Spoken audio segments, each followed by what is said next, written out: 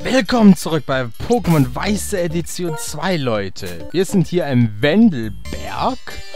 Erlaubt mir, dass ich mir zuvor kurz einen Schutz hole. Ähm, boah, 37, göttlich. Achso, es wird schon benutzt. Ah, okay. Ähm, yo, Leute, wir sind hier auf der Suche nach Items und nach Trainern, die wir besiegen können. Ähm, yes, sage ich einfach mal. Diesen konnten wir ja bereits in Schwarzen Weiß 1 betreten. Der hat's gedauert. Oh Gott. Ich habe keine Ahnung, was der von mir will. Okay. Äh, vielleicht wollte er wissen, wo ich herkomme. Keine Ahnung. Also gut. Ähm, ja, wenn wir hier die Erkundung machen, kann ich mal anfangen zu sagen, welche Pokémon es jetzt zu fangen gibt. Und das sind einige. Warte, wir sind jetzt im Außenbereich. Hier kann man im Winter viele Items holen, die man im Frühling hier oder in anderen, allgemein anderen Jahreszeiten nicht holen kann. Das schließt dir noch besser aus als ein schwarzen Weiß 1. Und, hä? Ich bin hier mitten drauf, aber kann ihn nicht holen. Hä? Was ist das denn? Backalarm. Ich kann das Item nicht holen. Ja, super. Also hier kann man nämlich je nach Jahres unterschiedliche Pokémon finden. Ähm, zunächst sollte man dazu sagen, in Schwarzen Weiß 2 ist hier alles einheitlich. Es gibt keine editionsexklusiven Pokémon. Gut, dann fangen wir an.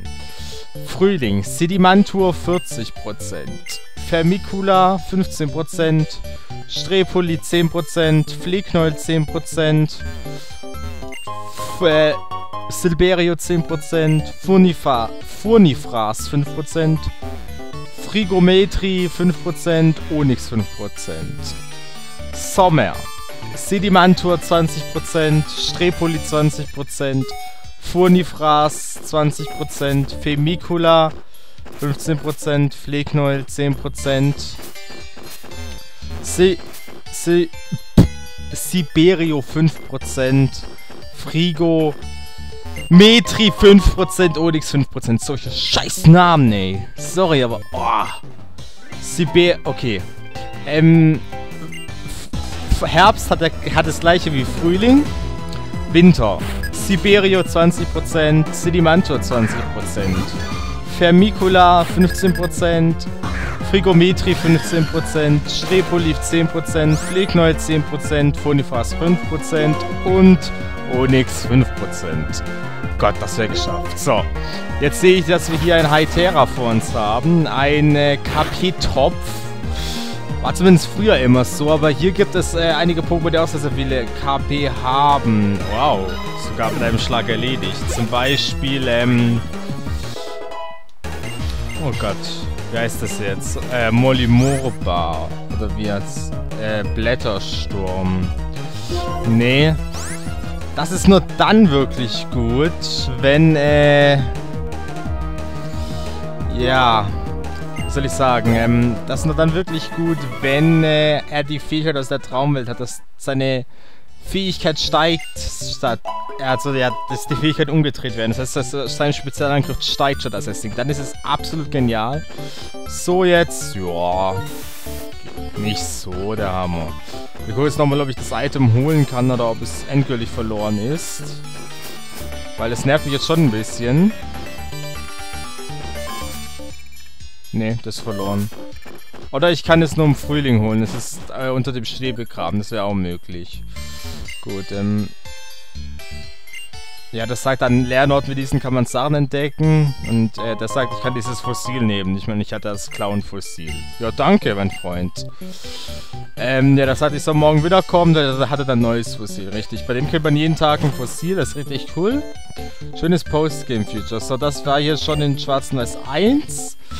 Hier kann man Evoli zu Folipurba entwickeln, für diejenigen, die es interessiert. Ähnlich wie ähm, in Diamant, Perl und Platin bei Blitzach. Und ja, hier haben wir jetzt Steinkante erhalten. Sehr, sehr gute Attacke.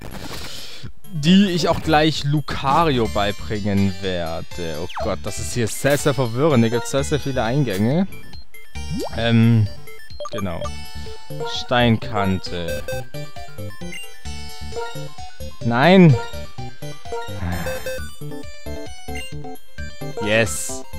möchte ich. Able.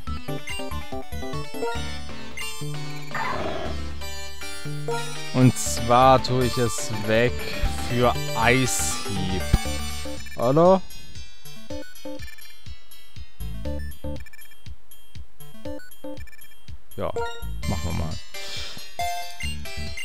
Sterne kann ja schon Eisstrahl, insofern, ja, es wird das wohl nicht so nötig sein. Okay. Also, interessant.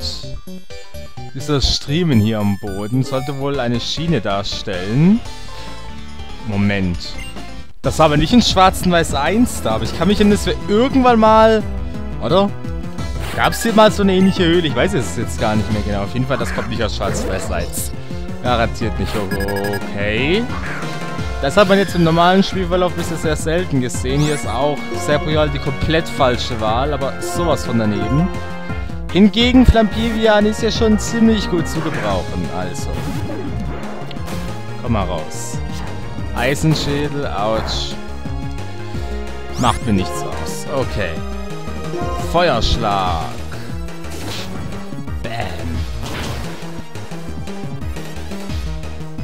Dadam, dadam. Au. Das hat wehgetan. Das hat wirklich sehr wehgetan.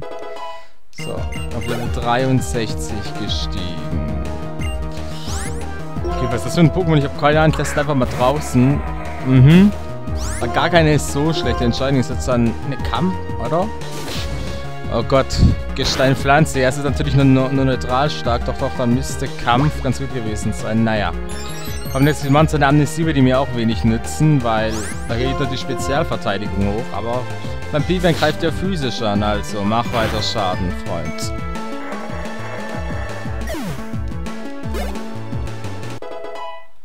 Und du ist Level 47. Wird ja langsam. Ah, cool, wenn du Erwähnung Flee bist. James sein Liebling. Knüpfen wir uns den auch mal Das gehört aber auch zu dem Pokémon, wo ich sagen muss, das Design ist schon ein bisschen crazy. Das sieht für mich eher wie ein Generation 5 Pokémon vom Design her aus. Aber gut.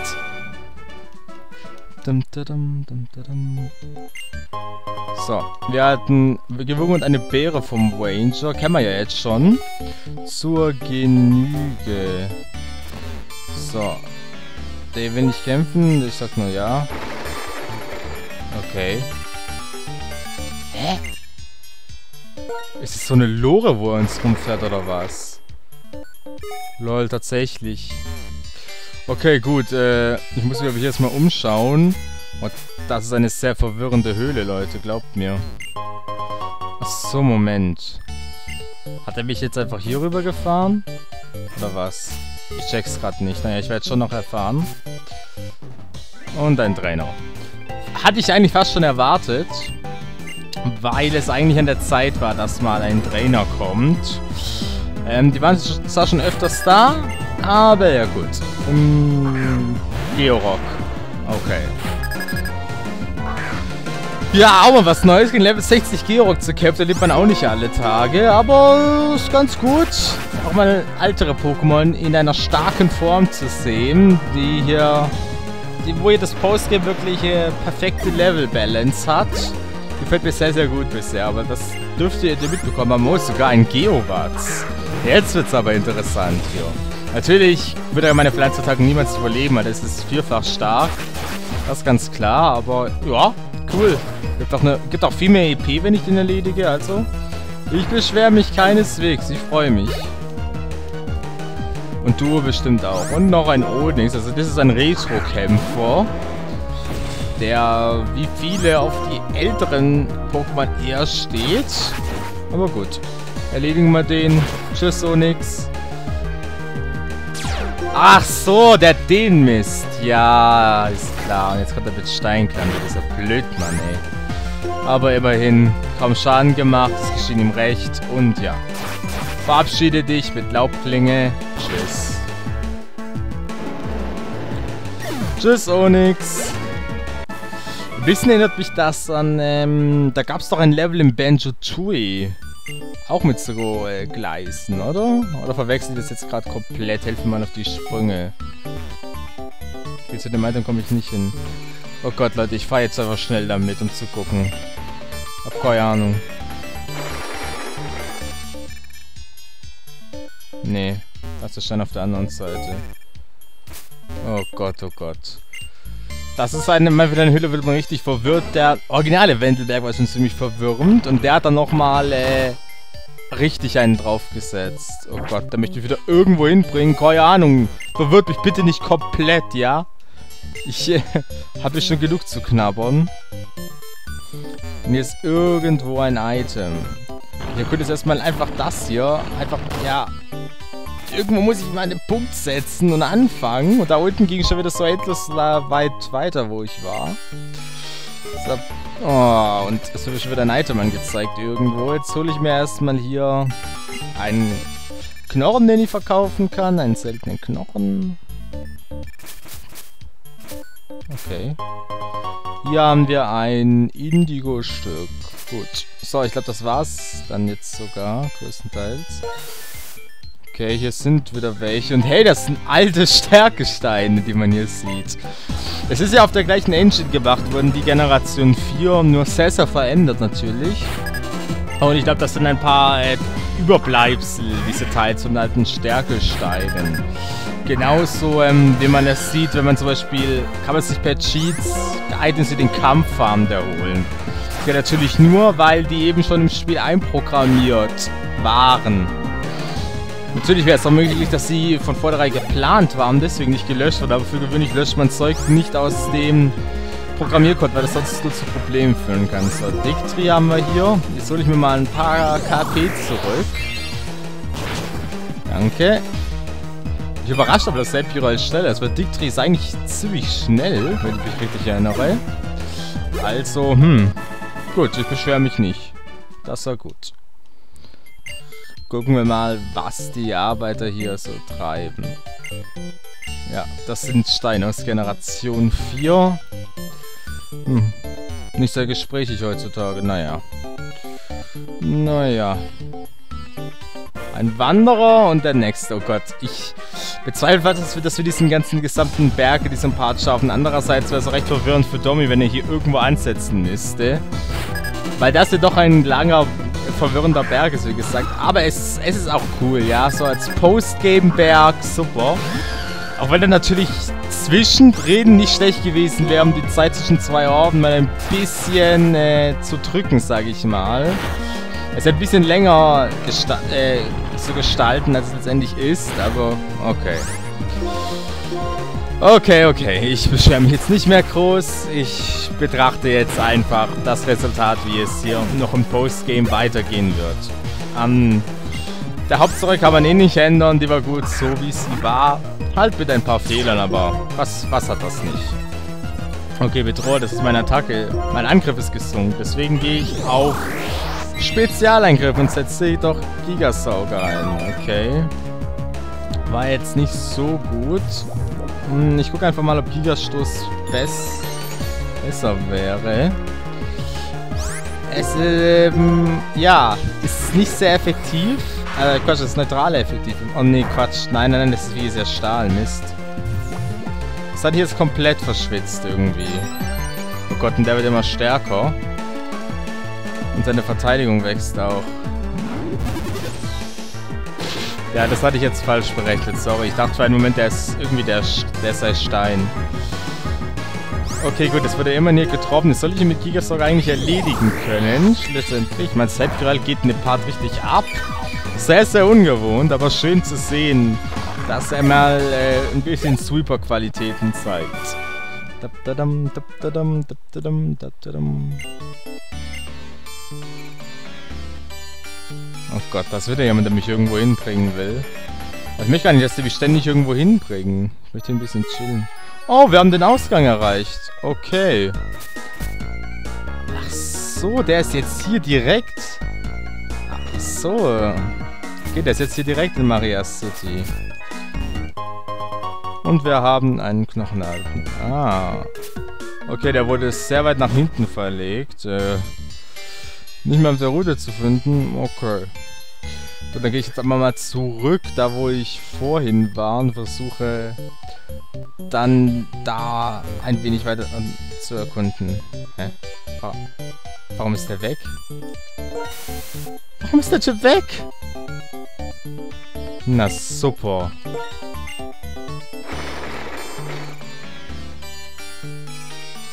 Jetzt habe ich keine Ahnung, wo ich bin. Ganz große Klasse.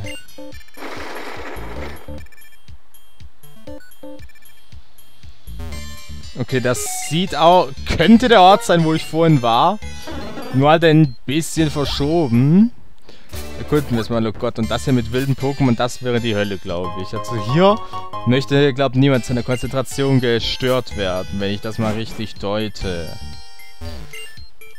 Stärkestein, ja, schieben wir rein. Ich glaube, wir können auch außen rumlaufen, aber warum nicht? Aktivieren wir Stärke doch mal. Okay, jetzt wieder jemand, der mich irgendwo hinbringen möchte. Und ich glaube, ich muss sogar mit ihm mitfahren, weil ich jetzt sonst nicht durchkomme. Aber ja, trotzdem, ich, mich, mich wundert, wo der erste Typ hin ist. Fand ich ziemlich gemein, von dem einfach abzuhauen. Mhm. Scheinbar habe ich den Screen nicht verlassen. Das sehe ich daran, dass ich Stärke noch einsetzen konnte.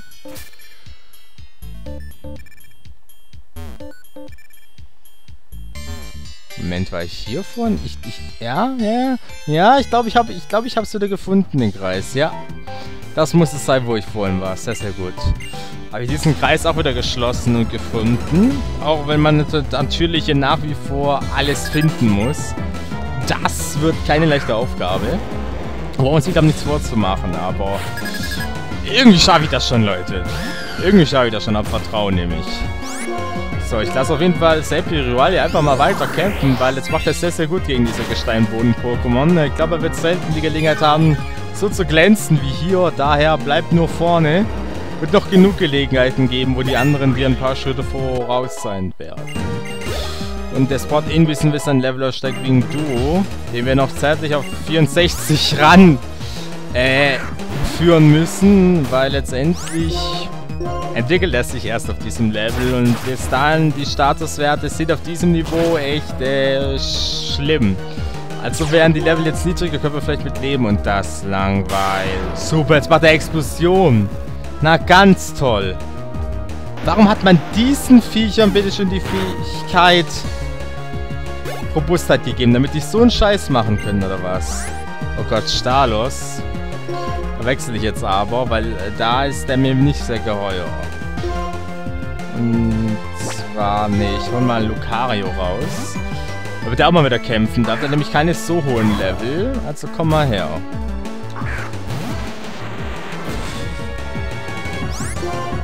Also Aurasphäre.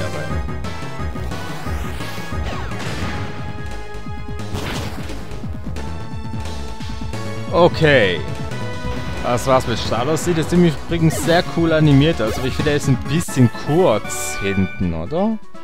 Er hat mir ein bisschen länger, ein bisschen schlangenartiger eigentlich äh, vorgestellt, aber okay. So, jetzt gehe ich noch hier schnell hier rein. Äh, ob ich hier irgendwas finde im Wasser. Halleluja. Okay, nee, hier ist nichts. Und wieder hoch und wieder an Land zum Gucken. Ein Ranger, mit dem wir garantiert kämpfen werden. Ja. Die geben uns hier immer eine Beere, nachdem wir sie besiegen, wie sie wissen. Das ist eigentlich der einzige Sinn, den die Ranger in diesem Spiel haben. Daher äh, kann es eigentlich nicht vorkommen, dass man nicht gegen sie kämpft. Das sei natürlich in der Stadt oder so. Da kann ich mich nicht erinnern, mal einen gesehen zu haben.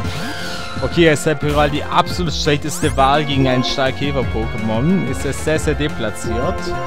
Lampivian hingegen hatte durchaus eine gute Rolle, die er spielen kann, durch einen vierfachen Schaden, den er hier verursachen kann.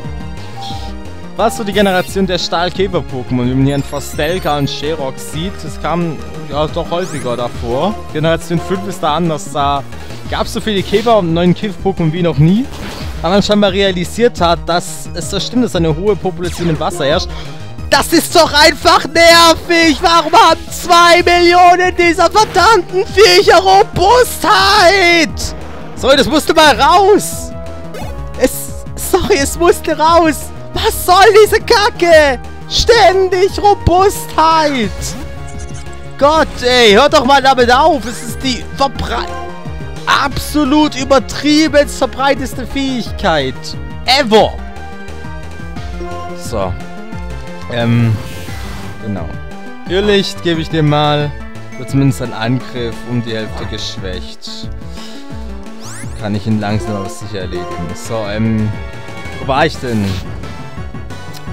Jetzt bin ich mit dem Blödsinn so rausgekommen. Autsch. Na super. Du dumme Sau. Ne, ich weiß nicht mehr, was ich sagen wollte. Sorry. So, dann lass ich jetzt mal du. Ich denke, diesen Kampf müsste er eigentlich schaffen. Komm, Drachenpuls. Yes, sehr schneller. Das wird was. Uhu. Guter Job. Okay, da kommt was. Oh, einer Maldo. Oh Gott, oh Gott, oh Gott. Ja, ich mit Van Piven, aber der ist ja gestorben. Wegen dummer Robustheit. Die scheinbar jedes zweite verdammte Pokémon hier hat. Einfach nur unnötig, diese... okay. Ähm... Nee, wirklich, ich weiß gar nicht mehr, wo ich jetzt war. Was ich ja nicht sagen wollte. Sorry Leute, da werde ich wohl irgendwie auf ein neues Thema jetzt kommen müssen.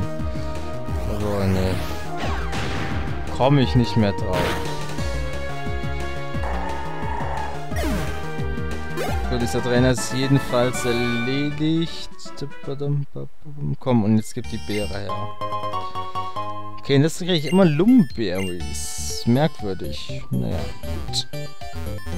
Hier haben wir einen Pokéball, ein Metallmann. Achso, ja genau, ey. Ich, genau, ich hatte über die Käfer geredet. Der fünften Generation und man scheinbar realisiert, dass da wirklich eine große Artenvielfalt im Wasser herrscht, aber auch unter den Käfern. Deswegen kamen jetzt sehr, sehr viele neue Käfer-Pokémon dazu.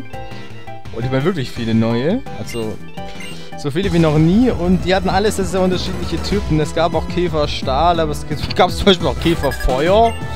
Also da war wirklich für viel gesorgt. So, oh Gott, ein Stallobor. Ähm... Ich probiere einfach mal Gigasauger. Er wird ihn zwar nicht erledigen können, aber er wird zumindest sich ein paar KP zurückholen können. So, rein theoretisch müsste jetzt eine Laubklinge von Serpi Royal genügen, um ihn zu erledigen, aber hm bleibt abzuwarten, ob das wirklich ausreicht. Okay, da ist natürlich harte, harte Geschütze auffahren, Erdbeben und solche Sachen. Aber komm, Seppi Royal, das schaffst du. Yes. Nicht schlecht 1 zu 1 gegen einen Stalover zu gewinnen. Nicht schlecht. Au. Okay, Nido King. Da ist jetzt aber echt deplatziert. Äh, Psycho wäre ganz gut, habe ich aber nicht. Der, der könnte halt ein Erdbeben kassieren. Ich würde es am liebsten noch Bibian, aber geht nicht. Okay. Kommt jetzt Dami auch mal wieder rein, auch wenn der wirklich viel gelevelt ist, aber ich muss dem ein Erdbeben... Entweder einen Psychokinese oder einen Surfer geben. Was anderes, ja. Wäre hier keine gute Option, also. Schau, Nidoking. Schmore in der ewigen Heul... Äh, Dings. Heulgründe und Rehorn. Das doch jetzt perfekt, Seppi Royal zurückzuholen, damit er sich darum kümmert. Und seine KP gleichzeitig zurückkriegt durch Gigasauger.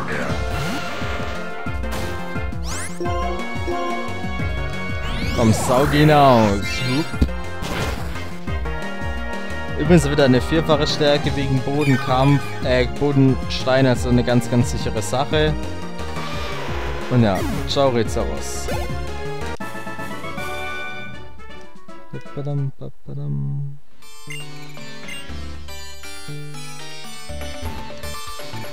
Halleluja, ich sehe gerade irgendwie fast gar nichts. Mm, und diese Höhle nimmt und nimmt und nimmt kein Ende.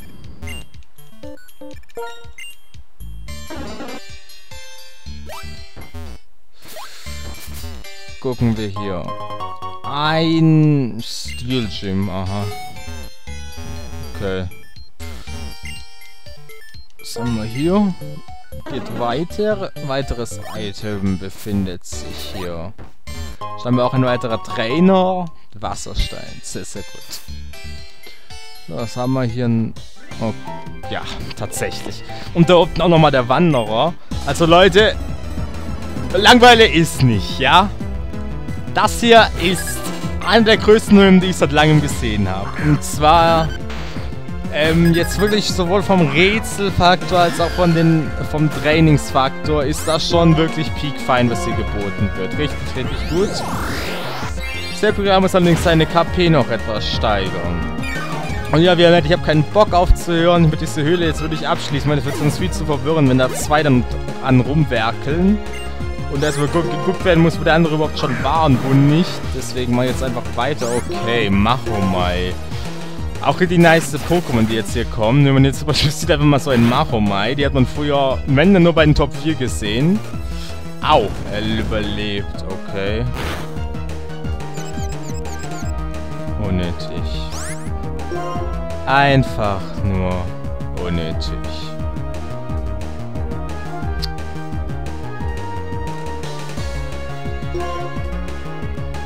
Ich hol den rein. Ich hätte wirklich gern Flampivian, aber der ist zu schwach und Lucario wird irgendwie von alle, kann irgendwie von allem getötet werden. Deswegen traue ich mich das nicht. Ach so, scheiße, der, der hat ja Unlicht. Ach, Mann! Ah! Ja komm, puls in den Kopf weg.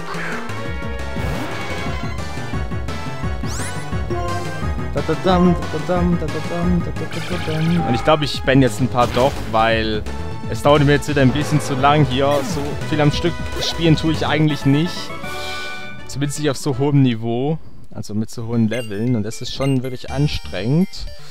Die 70 Minuten äh, Reshiram-Fang waren ja schon kein Zuckerschlecken. Oh Gott. Nein! Ich werde auf jeden Fall flüchten. Ihr könnt mir zahlen, was ihr wollt. Ich werde flüchten. Tschüss, Stalobor. Wenn ihr einen starken Stalobor fangt, hier ist die gute Option. So, jetzt werde ich erstmal den wiederbeleben.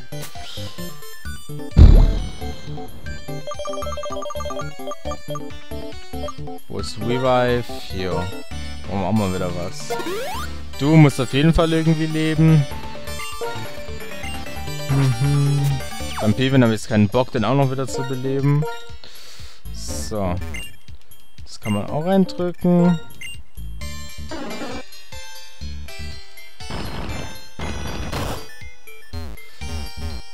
Gott. Okay, ja, meinen Nugget kann man immerhin gut verkaufen. Und hier, ähm, okay, ein KP Plus auch nicht so schlecht. Natürlich würde es bei den meisten Pokémon uns wohl keinen wirklichen Effekt mehr haben, außer vielleicht bei ähm, Duo. Oh gut. Und das ist jetzt wirklich der letzte Raum, den ich mache. Wenn es danach noch weitergeht, dann kann ich auch nichts machen. Dann werde ich den Part eben so beenden. Aber das, das dauert einfach wieder richtig, richtig lang. Ich, ich finde es ja cool, aber die Konzentration reicht eigentlich nicht, um so viel am Stück durchzuspielen. Für Gigastoß. Ich hoffe, es reicht. Sonst habe ich ein Problem. Verdammt. Das muss ich mir jetzt mal ausruhen. Ja, ich hatte befürchtet, dass sie dann sowas abkriegt. Ich hatte es befürchtet. Egal, komm, Gigastoß und tschüss. Bam.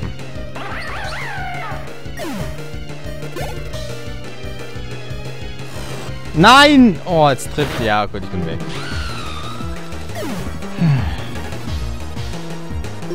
Komm, Nero, bitte sterbe nicht. Bitte trefft kein Pokémon, das dich wieder, mit, das wieder erledigen kann. Okay, das ist ganz gut. Aurasphäre.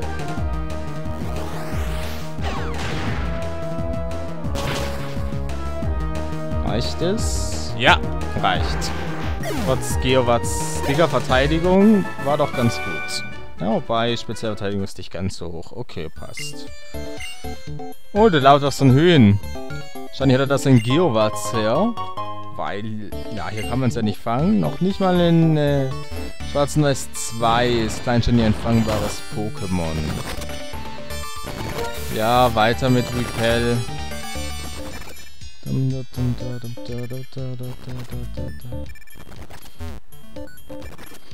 Okay, ich glaube, ich bin jetzt, äh, zumindest was das hier angeht, mal an ein Ende angelangt. Aber ich habe keine Ahnung, was ich hier noch erkunden kann und was nicht. Ich gehe mal hier durch. Ach so, wir haben wieder den Bug mit Blitz. Ich liebe es, aber hier waren wir eh schon. Ja, das ist ja eine Verbindungsbrücke. Ich habe hab übrigens keine Ahnung, was das mit dem Bug für ein Bug mit dem Blitz ist. Kann ich euch nicht sagen. Dum da, dum da da dum. Da werde ich jetzt mal einfach den Weg hier raussuchen. Hä? Was ist das für eine merkwürdige Musik? Höhenmusik, die ihr spielt. Ja, hi. Das ist Höhenmusik. What the fuck?